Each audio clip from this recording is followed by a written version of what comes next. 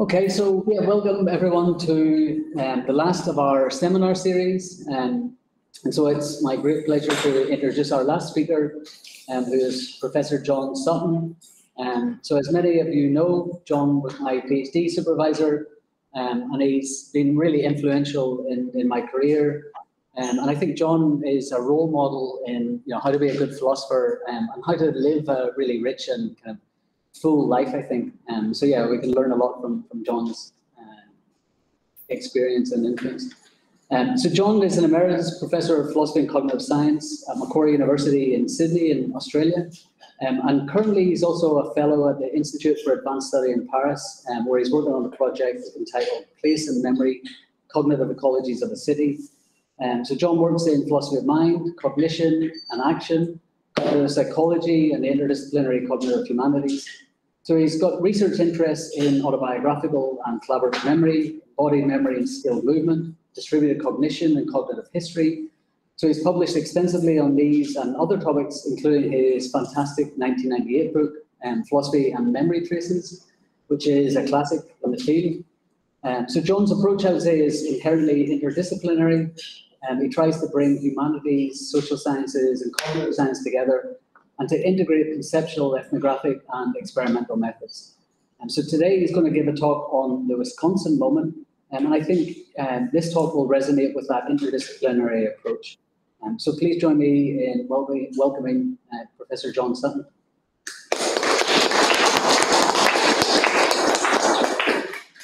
Thank you so much, Chris, for those very kind words. Uh, I should tell everyone Chris has been a pretty major influence on me as well since we uh, we have um, got together. Um, now, hang on, let me just get this right. I want to share a window. Uh, all right.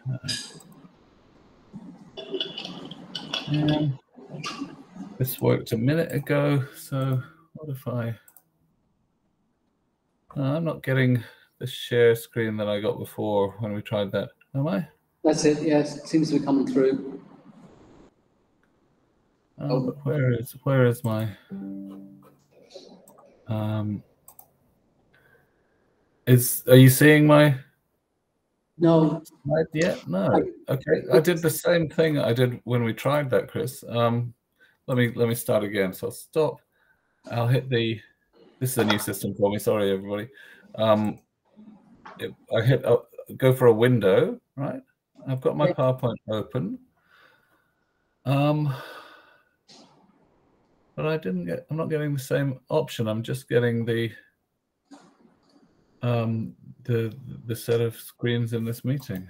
That's, maybe I'll just close my PowerPoint and open it again. Sorry about this, everybody. Um, yeah, it's not your fault, don't worry.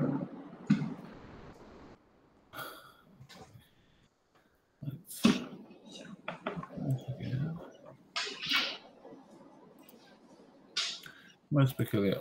Okay.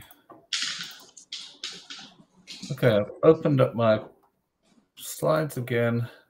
Come back to the meeting. Present a window. And yeah, Chris, it's not showing me what it did when we tried it then. Um, I'm only getting a window of the meeting. Um, if you share your full screen, so that sometimes can create problems, but I think if you click on the PowerPoint when you're in that, Okay, okay. Let's got it. Is that going to you now? Mm, let's see. No. Uh, some, yeah, that's it. Yep. Yep. Yeah, perfect.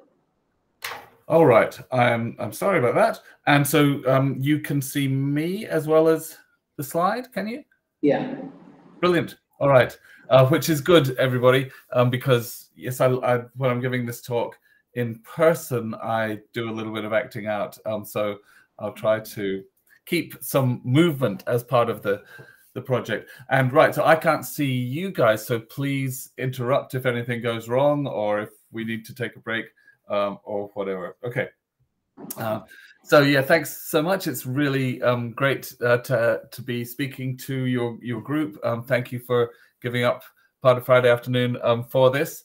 Um, so yeah, as Chris said, this is is very much a, a kind of experiment in um, quite direct interdisciplinary interaction, um, as as you'll see. It's a paper co-authored um, with Kath Bicknell and Celia Harris. You'll you'll see uh, Kath's role in, in a minute, well, and, and Celia's later. It's a, a paper reporting um, work that we actually did quite some time ago, and the date, um, as you'll see, will matter. We did the empirical work um, that we're reporting here in late 2016. Um, lots of things have intervened. Some some good reasons, some less good reasons for why um, we're we're still working on this material now. Um, but this is the very kind of last push to try to um, finish writing it up and submitting. Um, so it's a really great time for me to be able to present it and get some feedback from you. Um, okay, let's uh, let's pitch away. The Wisconsin moment. So as I hope you can see in this picture, um, on the left, Howard and Fran sit next to each other on an old, comfy two-seater couch in their home. Tom, who's one of the psychologists, sits facing them. Amanda is behind them. She's off screen. She's off to their right at a table. The ethnographer Kath squats on the ground off to their left. On the sofa, Howard is on Fran's right. He's fairly rigid, feet flat on the floor hands crossed in his lap. She relaxes into the back of the couch. Her left foot is crossed over her right, jiggling. It could be nervous energy or anxiety. The fidget shifts to her hand or plays with her glasses or rubs her arm. It's a way of concentrating during the testing or a way of marking time. They both want to do well. They do what they can to keep their focus on the tasks. After the first tasks, which were remembering word lists, Tom asks the couple to work together to name as many states in the USA as they can in four minutes. All three of them share a smile. It's not the first time they've shared a moment like this. So Fran and Howard look out and across, keeping each other in their peripheral vision, and she appears poised. She's happy to let him start. He takes a breath. New York, Pennsylvania, he says. He's speaking to no one in particular, but loud enough for everyone to hear. Fran starts, whisk, whisk, and she looks at Howard, conferring. Wisconsin? Huh? He says, looking toward her. No, I'm working down the East Coast, he says. They both smile and laugh. His is a quiet chuckle, and she's more expressive. It feels a bit like they're sharing a joke, as if it's typical he'd have some strategy like that. Uh, sorry, she says, laughing playfully and touching him on the arm. You go. She leans back into the couch again, looking up and away from him. She's focused, monitoring, trying not to intrude. We watched a lot of this on television last week, Howard says to Tom, who doesn't react. He can't react due to the protocols established for these tests. Last week was the Trump Clinton election. So Howard continues North Carolina, South Carolina, Ohio, says Fran. It's not acknowledged by Howard. Kentucky, Florida, oh, Ohio. And what's that river down there? New Orleans, that river that runs up from there, he says. Fran's not sure. Her arms and legs are crossed and she holds her glasses on her chin. It's as though part of her wants to say other things and part of her is holding it all in. She comes up with the odd name, but he's more confident. She sometimes refers to people or events. He sticks to the task more directly, naming states, talking in terms of directions and geographical features. Well, what are those ones in the middle, he says, and mentions lakes? Uh, the ones where they voted for Trump, she says, overlapping him, her hand motioning in a circle in front of her. They persist, talking quietly as the gaps between answers get longer. Well, that's four minutes, says Tom. It's a long four minutes, isn't it? Now, how much of your recall was from those elections last week? Oh, most of it, says Howard. Well, have you been to the States before? asks Tom. Never, she says, shaking her head. No, we haven't, says Howard at the same time. Tom jokes that Australians are probably better at naming states in the US than the other way round. Everyone laughs. Fran and Howard are volunteers in the Australian Imaging, Biomarker and Lifestyle Study of Aging, AIBL, uh, it's a longitudinal study of people who were over 60 back in 2006. Over 1,100 participants have been screened and tested every 18 months for cognition and mood, health and lifestyle, and with brain imaging. The idea is to identify biomarkers for the early detection of Alzheimer's disease. Among the aims of the AIBL project is to improve early detection of dementia and of the underlying disease. Another way to put that aim, and this is the aim that interests us, is to understand more about the many people whose brains show clear signs of Alzheimer's disease when they die on post-mortem, but who have lived a pretty normal life without symptoms. So, I mean, it, it differs in different studies, but around a quarter, sometimes as much as a third of general studies of um, large numbers of older people, people who die without having ha had any signs of dementia, actually have Alzheimer's disease. Um, to some some degree, and yet that hasn't influenced their life. They haven't developed the symptoms of dementia. So um, this is called cognitive reserve. Some, something keeps the cognition working, right? Even though the brain shows the tangles and plaques typical of Alzheimer's disease. So what are the sources of this cognitive reserve, which might protect or buffer some people against the disease? So we wonder if social interaction might play some role. Now, these participants in the AIBL study, they're all volunteers it's a pretty homogenous sample from a socioeconomic point of view. This this is um, basically the suburban middle classes, um, people who have some time and, and resources to be able to give their time to science. So they're not representative of the Australian population as a whole. It turns out that among the 700 odd participants who are classified as completely healthy control subjects, so people who have no incipient cognitive impairment when they're tested, and people of these people who were also open to further research participation, which is where we come in. So there were 94 people who were actually couples. In other words, 47 couples um, living with each other, where both members of the, the, the couple are participants. But until we came along, they had never been tested as couples within the AIBL study. They'd only been tested as individuals, just separate numbers in the in the studies. So for the main AIBL study, the couples travel into the city every 18 months or so. They take a battery of standard tests, clinical tests, cognitive tests, tests of individual memory. And they tell us um, when they debrief after our kind of different session in their home, their tests for AIBL can leave them feeling puzzled and inadequate, even though they absolutely believe in the value of contributing to medicine and science as participants. Of course, like many older people, they have real anxiety about memory decline some of them, even though they're classified as healthy and they don't have any signs even of mild cognitive impairment, let alone of a more serious um, cognitive decline, some of them, though, are what's called subjective memory complainers, people who give higher answers to scores about your own concerns about your memory or your own sense that your memory um, might be failing. Now, there's actually very little correlation between subjective concern about your memory and Alzheimer's disease. In fact, it's it's it's often the case that people genuinely suffering from Alzheimer's disease are relatively unaware of, of, of that. But these two people, Howard and Fran, score fairly highly on the subjective memory complaint um, score, as do quite a number of the, the couples who we, we work with. That's shown by some of the things that Fran and Howard tell us. Um, Fran says that she always wants to be good at the tests, both the ones for us and for the larger AIBL study. But she says, I feel inadequate. I feel completely inadequate. Her husband responds, But you don't need to. She says, But I do. I do.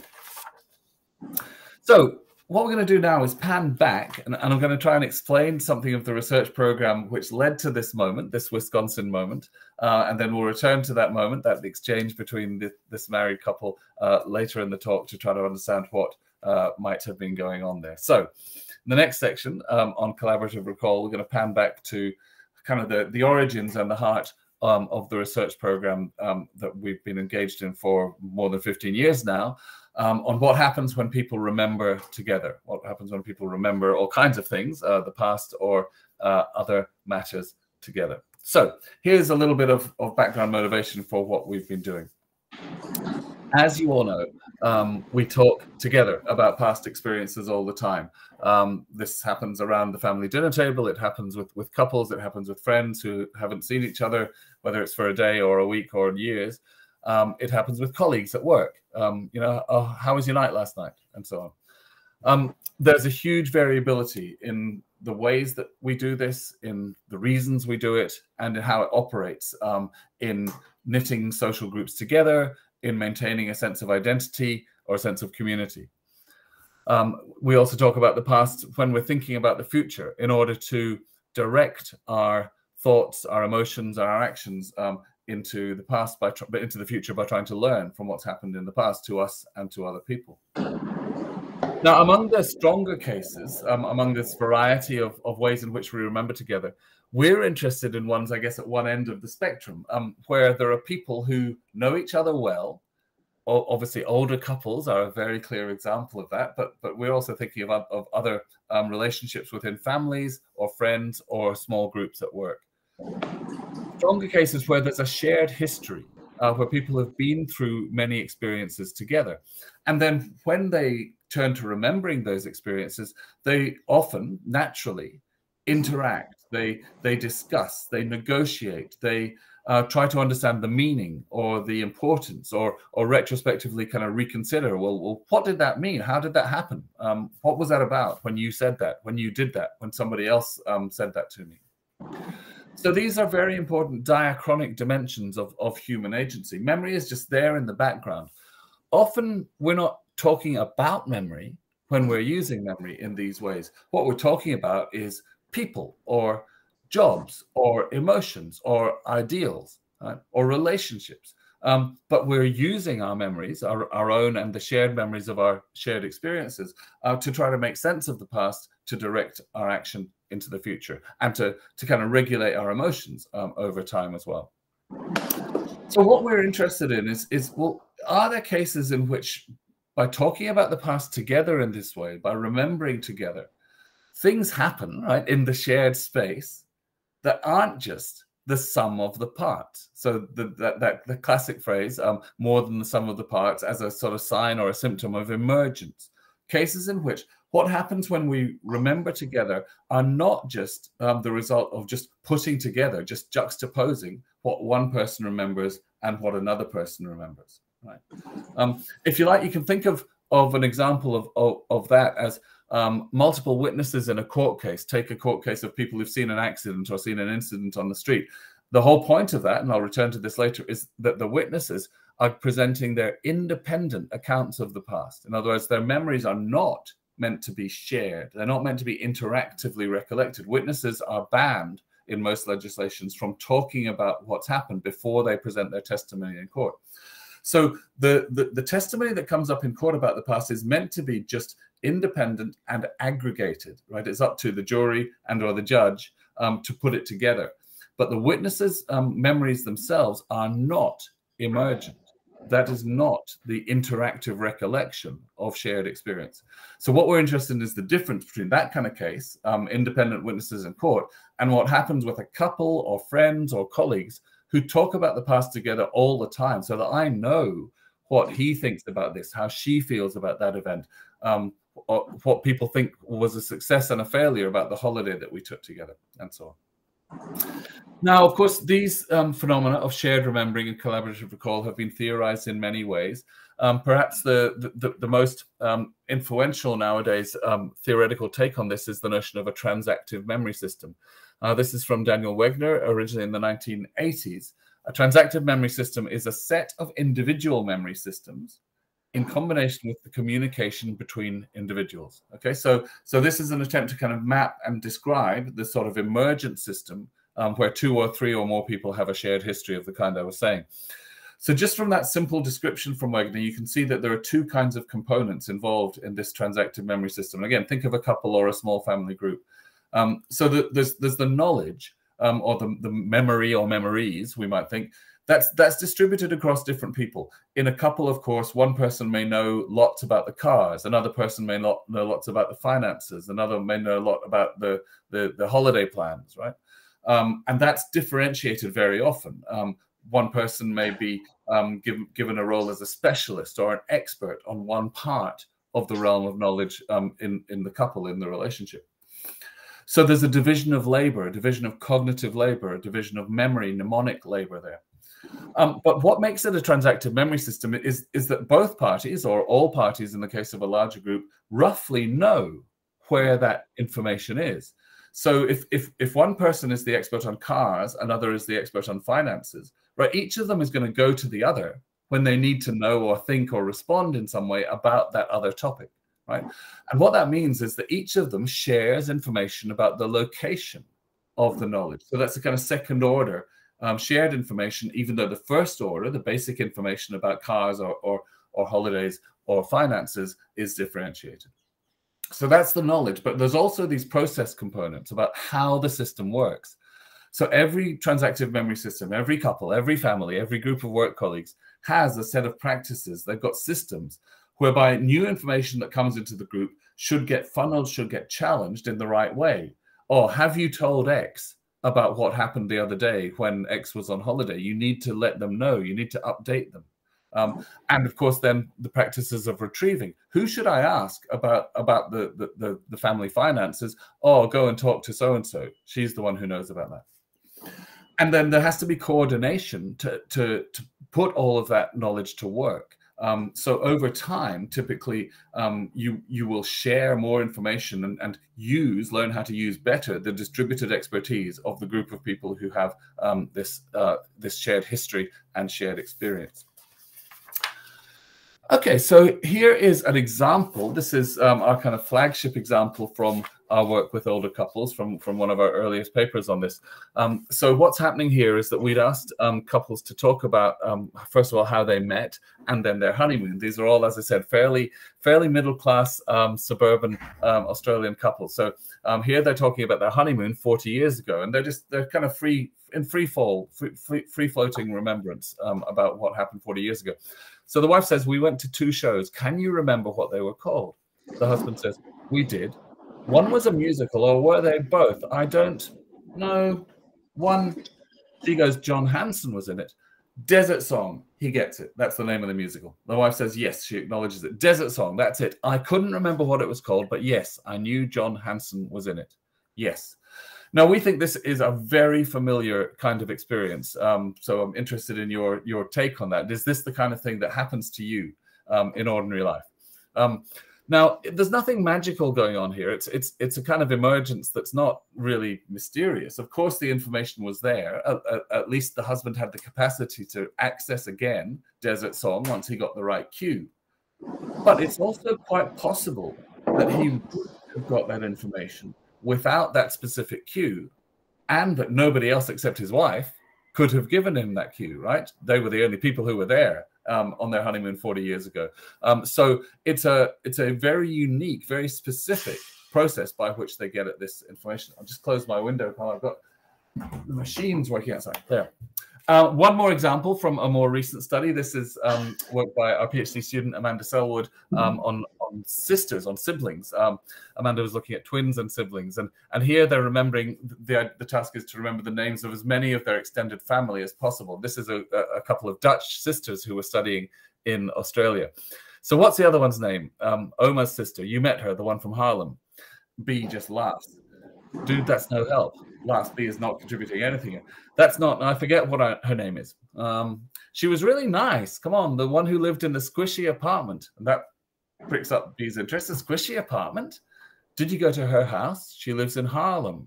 Oh, she has a small little apartment. And what's interesting here is that even though B up to this point has contributed nothing at all to this process, it's B who gets it. Yeah, yeah. Her name is Ta Ta Tin, Tineke. Yes, that's it. So again, cross cuing interactive process, including some laughter. Um, and this is not something that matters a lot. I mean, this is obviously not a family member they know really well. This is for a weird psychology test. But here they go. Together, they produce something that possibly neither of them could have produced on their own. And just to mention, these memory processes are not, I mean, we, sh we shouldn't think of them in, in isolation. Um, there's a whole lot of other collaborative cognitive processes uh, in which very similar operations and mechanisms are involved. Um, so I guess in the past, brainstorming and problem solving has has been studied in psychology quite a lot, and collaborative creativity, I should say, as well. Now, I mean, those of you who are who are um, academics, I don't know what it's like in in uh, in your system, but certainly in Australia and and in many parts of Europe, often nowadays we're told to you know go and do some group work. Um, you know, put out, put your heads together. They say to come up with some ideas about um, you know how the university should operate in future. And the typical feeling is that that kind of brainstorming activity among a kind of random group often doesn't work that well, right? Um, you're just given a kind of top-down instruction of something to do. You're working with people you don't really know very well. Um, and so the conditions for success in group processes are actually quite tricky. Um, and one of the the other domains in which I'm interested in collaboration that's part of the project Chris mentioned um, that I'm working on here in Paris is collaborative wayfinding. Um, in other words, what happens when you you are trying to navigate together with your partner or with a friend or with a, with a family member? Um, you know, there's a lot of work, for example, on um, how does GPS um, and, and, you know using your maps on Google's on your phone does that kind of degrade your memory? Does it mean that you don't uh, actually uh, understand the navigational layout of a city as well as people used to in the old days before before smartphones? But of course, what what we're usually doing is doing that together and. Um, you know, I think many people are familiar with with you know conflict in how should we interpret this GPS device. Um, you know, and, and often things go wrong in the collaborative process. So, it's a general problem about collaborative cognition. It's not just like putting two separate people to work, right, and letting them go. When there's collaboration, it's more complicated than that. Okay, so now continuing this process of, of panning back um, to, to, to, to explain what was happening in this Wisconsin moment, I'm going to take you through the very um, simple shape of the collaborative recall research paradigm, the experimental paradigm, uh, which we didn't initiate, which was, was in play well before we started work on this. Um, so I'll just take a minute to explain what you're seeing on this screen here. Um, so on the left, um, we have six individuals. So I is for individual, um, three in the top, three at the bottom. Um, and in that first phase, the learning and recall one, um, they learn some information, and it could be anything. It could be a, a random word list. it could be that they watch a video in which some events happen. Does, doesn't matter for the moment. Let's just think about their, their learning a random list of words for now. Um, at the second phase, recall two, you can see something different happens at the top and the bottom. So the top is a collaborative group. Um, and at recall two, they would be asked to work together, to collaborate, in other words, to try to remember as many of the words as they can together. Um, meanwhile, the other group, the, the individuals, will just be asked to remember individually. And again, you know, they, they come up with as many as they can on their own, but there's no interaction between the three at, at recall two. Um, so what we're interested in then first in this collaborative recall paradigm is to compare this. Um, what happens, for example, how many words does the collaborating group come up with at, at recall two? And then what do we compare that with? Well, obviously we could compare it with just any one individual, but that's not really fair, right? Because the collaborating group has three individuals, um, so it should be compared with with a, a, similar number of people, three individuals. So what we do um, is we call these three individuals in the, the second, the bottom, the nominal group. We call them a nominal group, and we measure their output, we measure their memory um, by totting up what they recall separately, and then pooling the result, pooling the output. Um, now, of course, we don't count twice. We don't double dip. If if individual number one and individual number three come up with the same answer, we don't count that as two. Um, what we're interested in is the non-redundant output of the same number of individuals working alone. So in the case of, of remembering word lists, we just get a number. Um, what is the number of, of items that the collaborating group recalled? What's the number of items that the nominal group recalled? Is that clear enough? Um, I, I hope it'll be clearer when I explain the typical result, right? The typical result is collaborative inhibition. Um, so this is just a, a, a sample um, graph describing very typical um, results that we see in many, many of these studies. Um, on the left, this so imagine this is a long list of words, which would be very hard to remember. On the left, you see the average result for an individual is just under 30%, just under 0.3. Um, for, that's for any one individual um, when they're remembering this, this, this list on their own. but then when we get to the um, the, the next group, um, we see that the collaborative group, um, when they're working together, does better than the individual. So that's good, right? That, but that's also what you'd expect because it's three people rather than one. They remember just about half of the items, just under 0.5. But then look at the right hand column, that's the nominal group. So that's what happens when you allow the three individuals to work separately and then you pool their output, you pool their results. So what you see there is the nominal group, and this is a very robust result. It happens a lot of the time. The nominal group outperforms the collaborative group. Another way of putting that, collaborating groups very often do not perform to their potential, right? Because if if if you just left them alone, right, they would have done better once you pooled their output. So there's what we call process loss, but something about the collaboration, something about the process of collaboration means that they don't perform up to their potential. As I said, this is a, a an effect we find in many different cases um, for, for word lists, for, for pictures. Um, I'm going to talk a little bit more about um, what happens when we, we make the information that's being remembered more relevant, more personally relevant. Things do change then. But what's a bit surprising, it takes a bit to, to kind of get to know this, get to understand this, is it's not just a matter of effort, right? Because when you offer substantial financial rewards, or when you make a competition in which the, the winning group is going to be well rewarded, um, the groups don't do any better. The collaborating groups don't do any better. It's not just a matter of sort of people lay, lying back and being lazy and thinking that their collaborating partners will do the job. They can say, "I'm really trying," you know, and I, am pretty sure that we'll we'll do really well as a group. We seem to be getting on really well. People say, but they actually don't. So there's something deeper. There's something more cognitive, some mechanism that that makes it hard, right, for for collaborating groups to remember effectively together very standard explanation. It's it's that well, when you remember stuff, when you encode stuff, you'll typically have a kind of individual strategy. You'll you'll impose some organization on the material that you've learned. I mean, think of learning a list of words. You'll there'll be some way in which you kind of put them in categories, even if they're not categorized. You'll you'll work them out, and when you recall them, when you retrieve them, um, you'll try to follow your individual strategy uh, to get at the list you're remembering. When you work with other people, that process, that individual process of, of um, using your individual strategy is disrupted because you've got to listen to other people. Um, you're monitoring whether they've said what you've said. Um, and so um, what what psychologists have typically found is, is that to get a group to do better, you actually make it less of a group. I'll explain what that means. You tell people, for example, well, don't listen to what your colleagues are saying.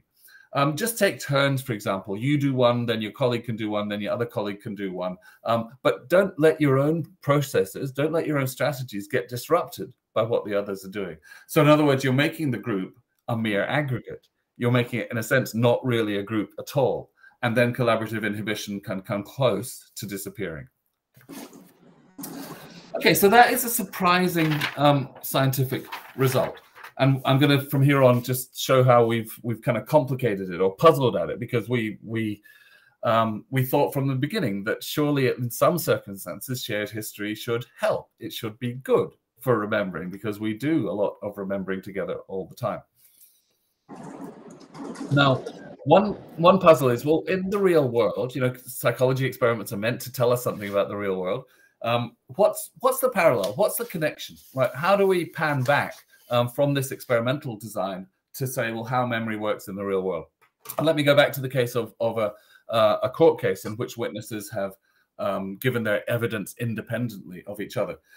So even in that case, right, either the jury or the judge has to construct a narrative, right, using the information provided by all the separate witnesses. So that's a process of, if you like, pooling the non-redundant items, the non-redundant memories that the individual witnesses have given. Now, in the experiment, the way we do it is is a kind of idealized or automated procedure. We we just check, right, and we we make the full list of all the items that the individuals have have produced.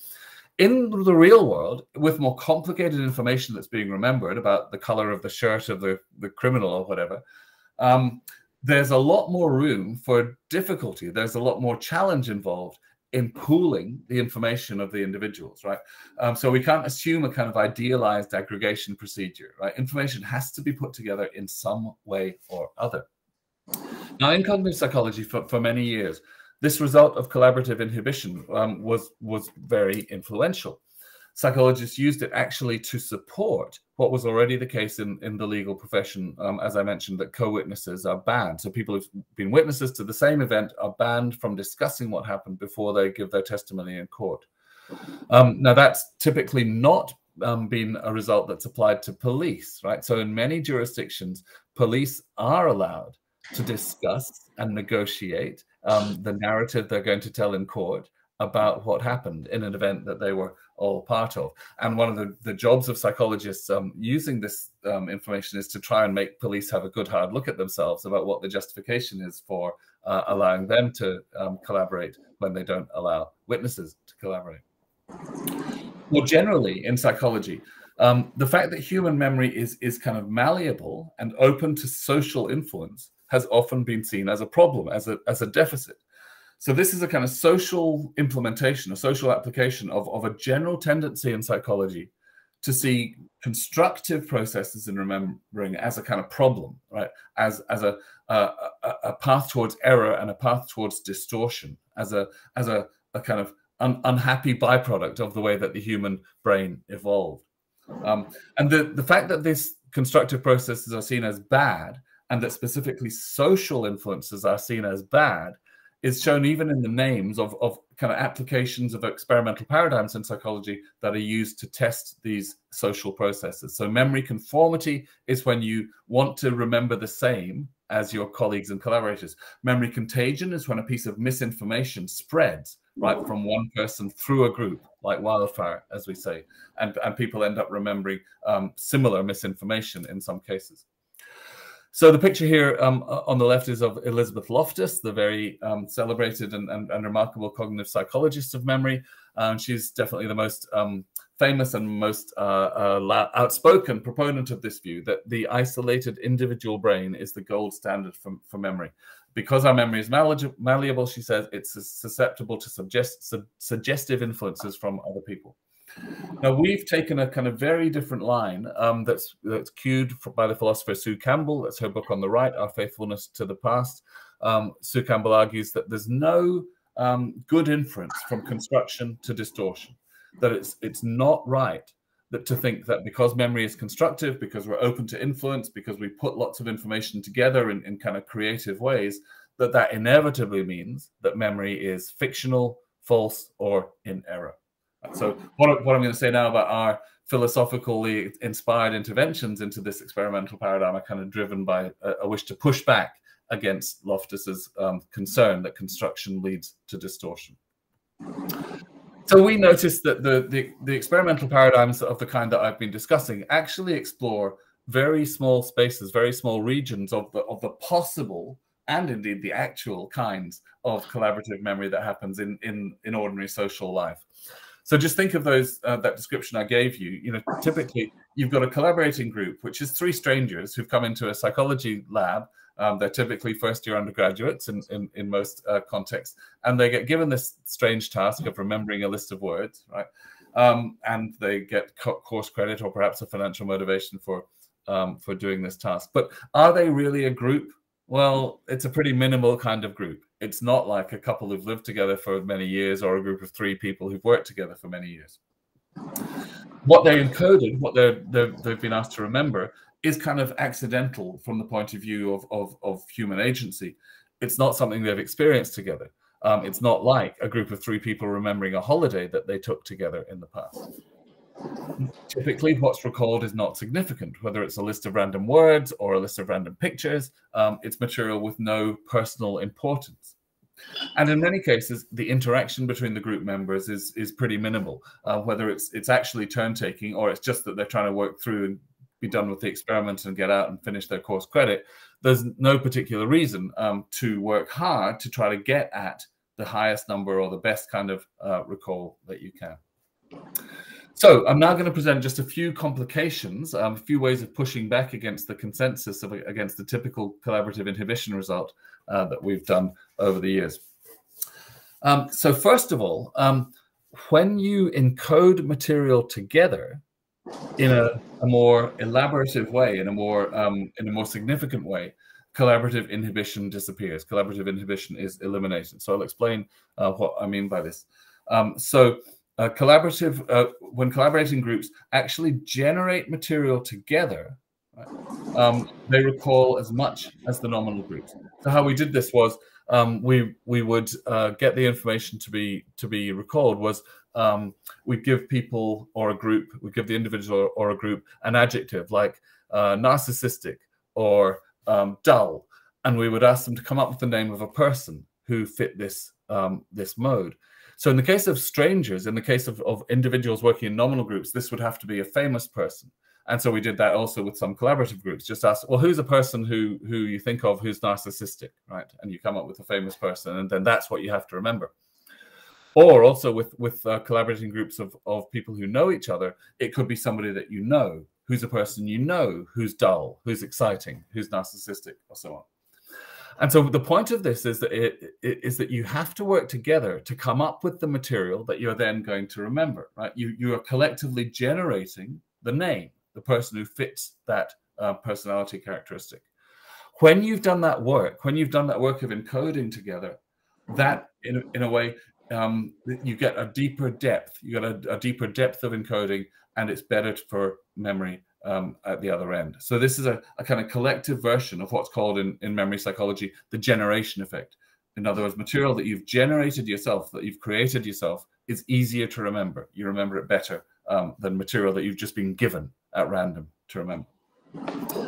Second outcome is, is to look at a slightly different phase of the process. So here at Recall 3, what we typically do in these experiments is, is we separate the group out again and we test them again as individuals. So what we've got the circle around here is the group that were collaborating in Recall 2, but now we test them again at a later date. This might be a week later or a month later or, uh, or a couple of years later. Um, we test them again on the same information. And then we do that same thing with the ones who've never been collaborating, with the ones who were in the nominal group. Now, what happens here? Well, in this case, um, uh, oh yes, sorry, go back. In, in in the case we're going to look at now, what we what we manipulated was the kind of interaction. So at Recall Two, in the results I'm about to report to you, at Recall Two for the collaborating group, we told told them to interact strongly so that you reach consensus. Right? We don't want you just to take turns and agree to, to differ about what you think was um, uh, the material you to remember. We want you to make sure that you all agree. We want a unanimous consensus about what you remember. Now, that doesn't change the basic result. Collaborative inhibition is still there at recall two. So what I'm showing you first there is what happens at recall two, the middle phase. At recall two, we still get the nominal group performing best. Um, and neither group, neither a turn-taking group nor this group we asked to find consensus um, does better. But when so next I'm going to show you the results at recall three. Um, and what happens here at recall three is that there's a dramatic benefit for collaboration and specifically for collaboration by this consensus mechanism, by this way of, of actually getting um, deeper interactive uh, agreement in the process of retrieval. So what we think happens here, so the, the results here show that the consensus group, the group that we asked to, to come to an agreement, make sure you're unanimous, basically um, stopped any of the individuals having intrusions. It stopped any false memories, to put it another way, in the individuals who later went away from the collaboration and when they remembered themselves, they didn't have any false memories um, because they managed to correct each other during the process of collaboration by checking, by monitoring each other in the interactive turn taking. Um, they'd made sure that they kind of eliminated mistakes. And that's a remarkable result um, because it's it's often very common that we get uh, intrusions and uh, mistakes when you've um, been remembering complicated material. Okay, we're getting closer to coming back to the Wisconsin moment. Um, what I'm going to talk about now is the sort of general shape of our alternative way of understanding remembering together. So I've just given you a couple of examples of ways in which we've we've kind of manipulated the experimental design a little bit, changing the materials, ch changing the tasks. But what we think is most promising is to change the kind of group to look at different interactive processes in the way that people remember the past together, and to look specifically at persisting integrated systems, um, people who have a shared history over time, who work together over time. And so, to come back to the older couples, we've done this sequence of studies with, with older couples who we think are potentially transactive memory systems with shared strategies at those two levels of, of the distribution of knowledge and process. And they have a rich cognitive and emotional interdependence. I'll show you a graph of one of our first studies with, with older couples. Um, now, the details here don't matter. What, what I want to point to, um, basically, green is, is collaborative facilitation or benefit. Um, so people who do better when they're working together at a task. The red um, is people who, couples who don't do better, who do worse when they're collaborating. But what's interesting here is the variation, right? It, it looks like there's a lot of mess in the, these results. And so initially we were going, this is a problem. You know, this doesn't look like clean, nice psychology data. But then we thought, is actually, isn't this the point, right? Rather than thinking about this variation as noise, each couple really has a different kind of mechanism, a different way of operating uh, when they work together. So I'm just going to give you a couple of examples now, qualitative examples of, of, of real cases in which uh, older couples were working together. And the task I'm going to show you a couple of examples of is, is it's a kind of semantic memory task, but it's one with personal significance. So what we asked them to do in each case, these middle class couples, we worked out is there a club or some kind of community organization that you're both part of? Something that you go to meetings, right? This is well before lockdown, you go to meetings and you know the people in the club. And we, when we found one um, for those couples, we said, okay, great. Um, can you remember as many names of as possible of the people in that club? We made sure it was a club that both both members, both both the husband and the wife were part of, and so we do that first individually. Um, so we'd ask the husband and the wife to remember those names individually. Then a week later, we'd come back and we'd put them together and we say, okay, can you together, can you collaborate to remember the names of your friends in this club? So here's a couple of examples from couple one. Um, so this is from their individual interview. So you see F, the, the woman, the female, um, comes up with all of these names. Um, and the man comes up with names. He gives the surnames. But um, when you pull their recall, these individual interviews, they're, they're not collaborating in this case a, a week earlier, they come up with 17 names in this case. So that's that's an okay result. But what happens when we put them together a week later? So the same couple in the collaborative interview, they, they start with the committee and they laugh. We've got David and Alison. He gives the surname Beard, John Edwards, his wife Helen. We have Jack, and he can't remember Jack's wife, but she can, of course, June. June Yarrington, Fred, and they talk over in an overlapping way, Fred and Zoe Simmons, right? So what's happening here is, is and we'll, that continues as they they just work together. Um, there's a lot of cross cuing going on, a little bit of incidental detail. The pilot, the retired Qantas pilot, this couple does a lot better when they work together than when they were working alone. The collaborative recall produces 30 names compared to their pooled individual recall producing just 17 names. So they've kind of got a strategy. They provide cues from each other. This is successful collaboration. This is collaborative facilitation, collaborative benefit or process gain, we can say. Contrast, you can tell what I'm going to do now, a, a case where it doesn't work so well. Um, couple two actually knew their, their, their friends' names much better. So when they did it on their own and we pooled them, they got 50 names between the two of them. So good good effort. That that that looks very good. That this is uh, a couple with good knowledge of the uh, names of their friends in the club. But then in collaborative recall, things do not go so well. Um, they only produce 32 names. What happens? Why does this happen? Well, it's because they have very different strategy. The man works through them in alphabetical order, um, and the woman goes around the room. A very different strategy, and then she basically gives up um, because it's not working. They're not doing the same thing. They're not quite um, uh, playing the same game in memory, and certainly there's no cross cuing. So in this case, we get collaborative inhibition, very strong collaborative inhibition. They do worse when they work together. So over a range of studies, we've kind of probed and quantified these differences in, in interactive style and collaborative style. And we've we've coded their interactions of how couples work together. And we've come up with, with factors that we call group enhancing and group diminishing. This is just sort of labels for the things that correlate with success, with facilitation, and the things that correlate with, with failure, with inhibition in collaboration. So what's good? What's good? What's a good sign? for a couple or any other group that's remembering together is that you cue each other, not surprisingly. Um, but actually, even cues that don't work, even cues that are not picked up, are a good sign. They're a good thing. It's it's it's a good sign of the group working together well as a transactive memory system. If people are trying to, do you know, do you remember that that guy who wears a hat? Even if the other person doesn't come up with an answer, it shows that the system is working well together.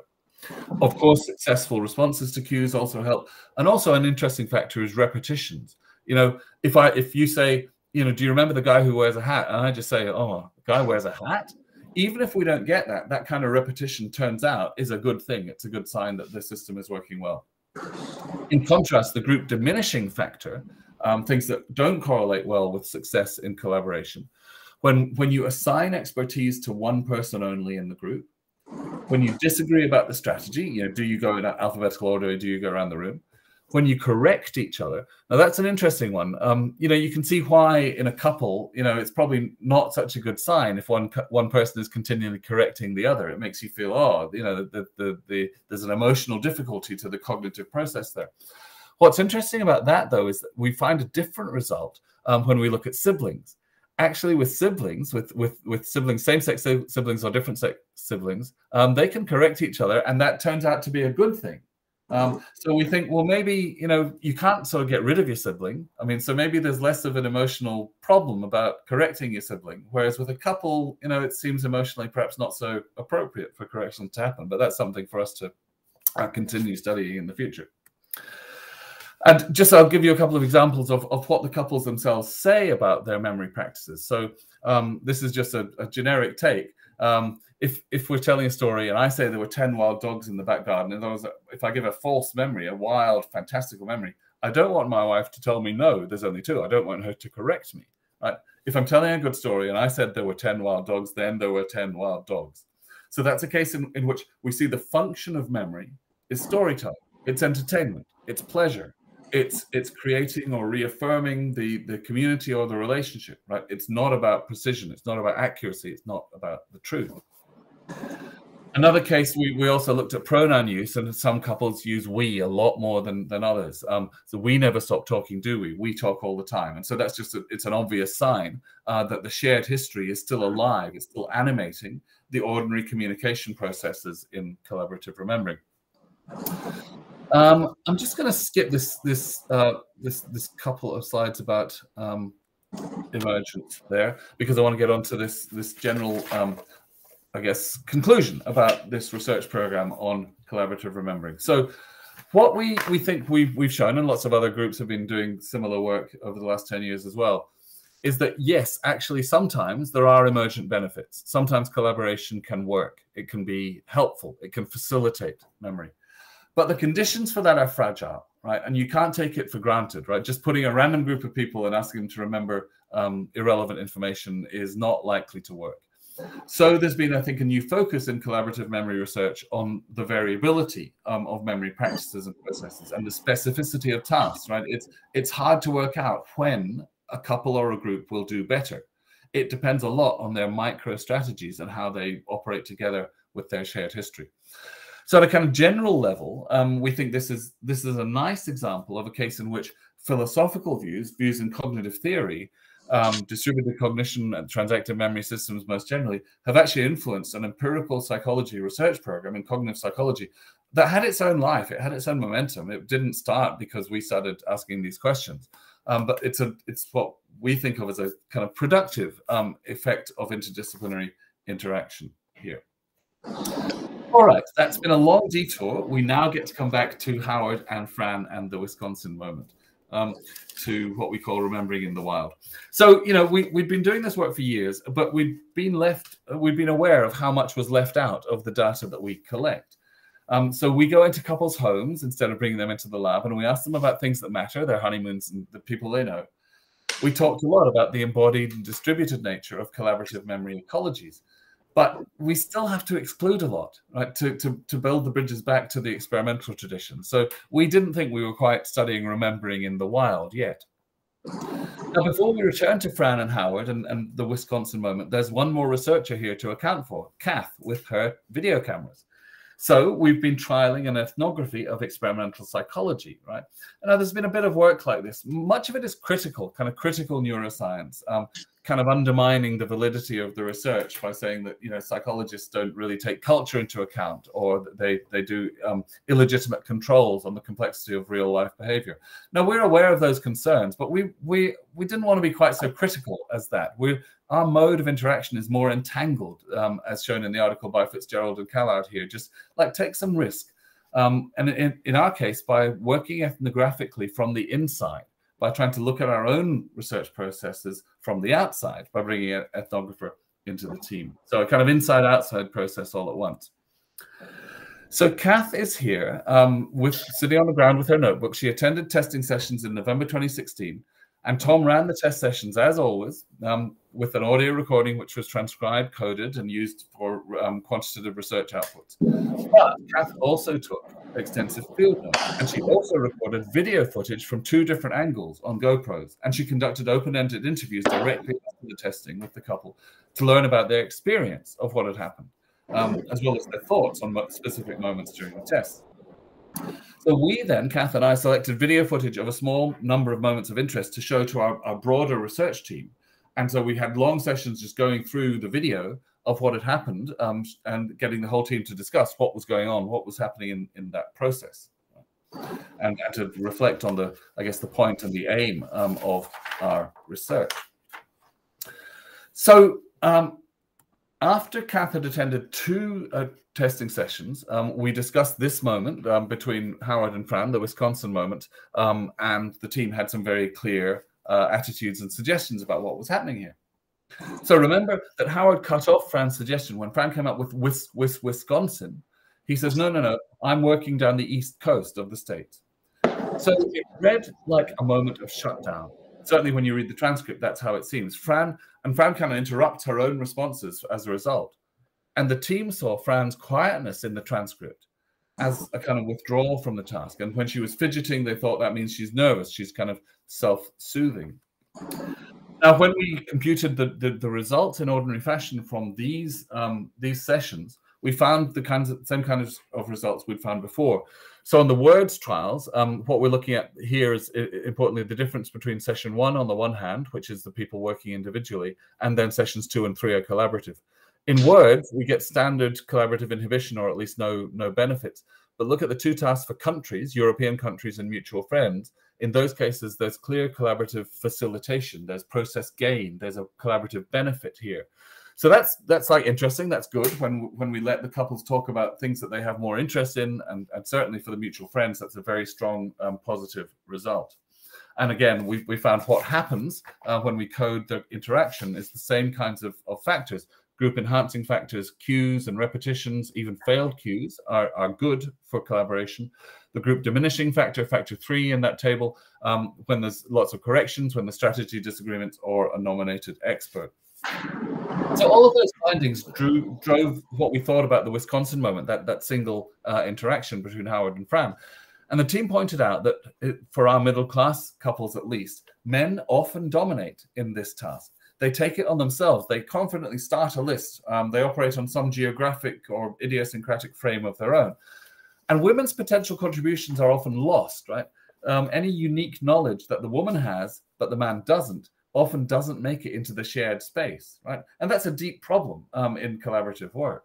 And this task exacerbates that challenge, right? The couples know there's some target number, there's you know, 50 something US states they know, and they're aware that they've got nowhere near 50. And so they get anxious, right? Um, and so the, in this case, after the Wisconsin moment between Howard and Fran, the, the, kind of the playfulness is not really strong. They're, they're struggling, they're anxious about this. Yes, all of that's true. The Wisconsin moment was shut down, and yet there is another take possible on this. So Kath had a second video, um, reverse angle, which showed the couple's faces and emotions from this angle and their body language kind of differently in and after the Wisconsin moment. From this point of view, Fran turns towards Howard, touches him on the arm, and they share a laugh. They mirror a smile as if to say, Well, of course that would be your strategy. From the transcript alone, the mere words, right?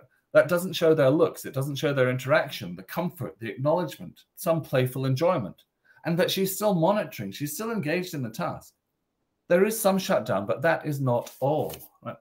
So when we reverse the angle, there's more going on. Right? Expertise is not always trouble. Sometimes a cognitive division of labor makes good sense in everyday context. So there can be a strategy difference, a difference in strategy without a mismatch, without trouble. And at another point in the session, Howard says, Yes, I'm a thing person, and Fran's a people person.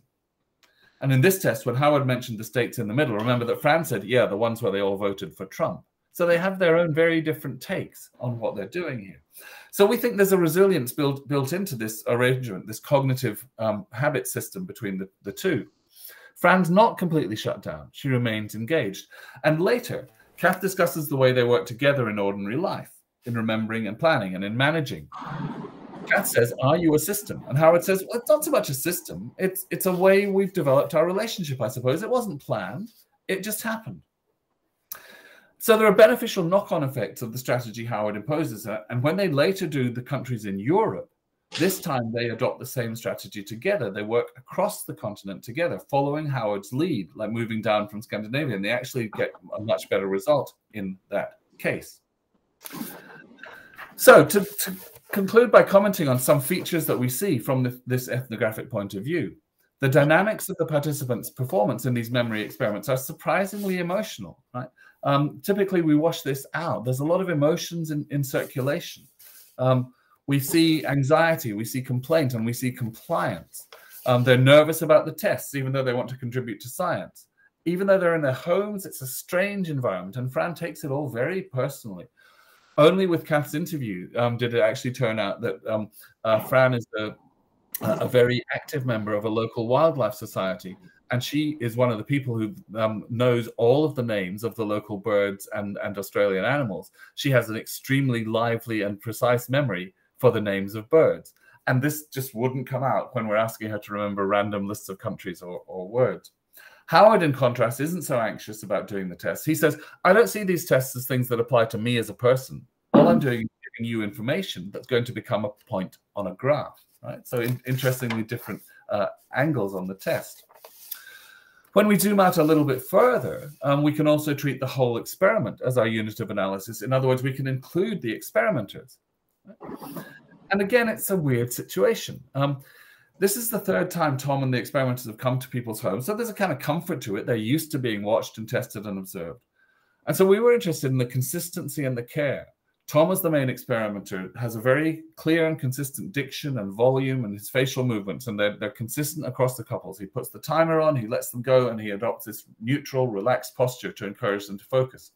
And, and the, the couples say they appreciate this. He's very easy to understand he reflected it's it's very hard when they're telling stories about the past i, I can't react i can't laugh along with them and it turns out uh, another research researcher who'd been doing this had actually kind of engaged too much and found a lot of humor uh, in what the couple said and and that ended up not helping the couples to do the memory tasks um, as well so there's a lot of labor in the experimental work here uh, by the open-ended discussion time after testing, we we started to make them feel, you know, a little bit less like a number, more like a part of the process, and a, a kind of time-consuming but very personal um, search for the causes of Alzheimer's.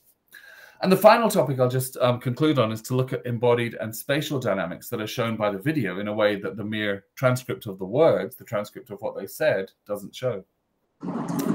First of all, it's interesting that Howard and Fran chose to sit side by side on, on the sofa. So we didn't tell them anything. You could sit wherever you like. Where would you be comfortable? And this couple chose to sit on the sofa.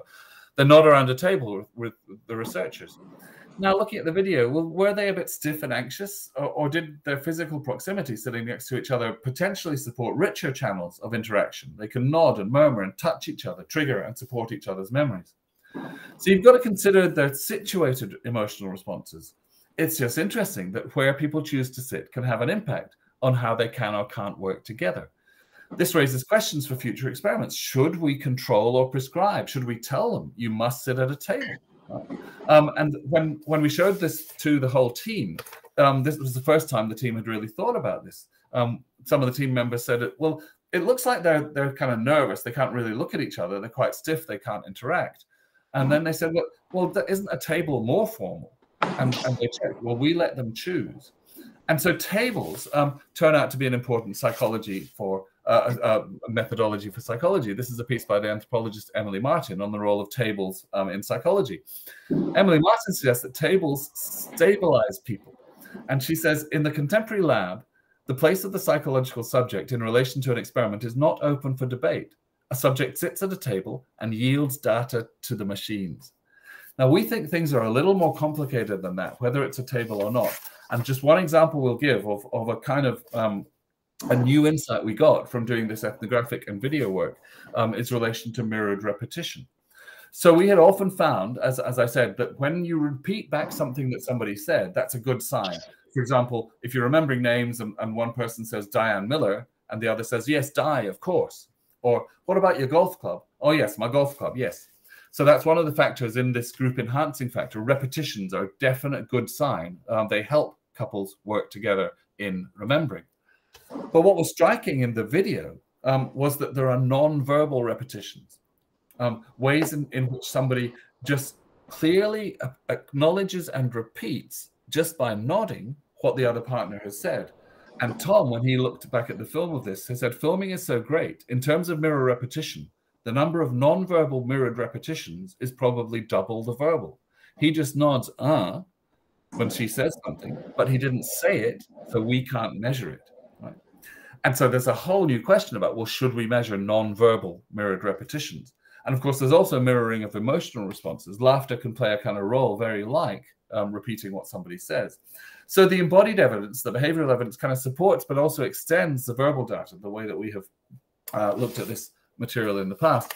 And later in the interview, Howard says, well, yeah, doing the test with somebody else helps you to get over a block because you can think of something else. You can look at the other person that will untie the block so that you'll be able to remember the other things that you, and then they start talking over each other. She says, it triggers something, doesn't it?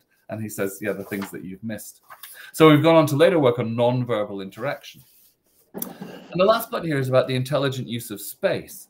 So I mentioned earlier that Howard had been talking about the watching the US elections, the, the Trump elections on, on TV the last week.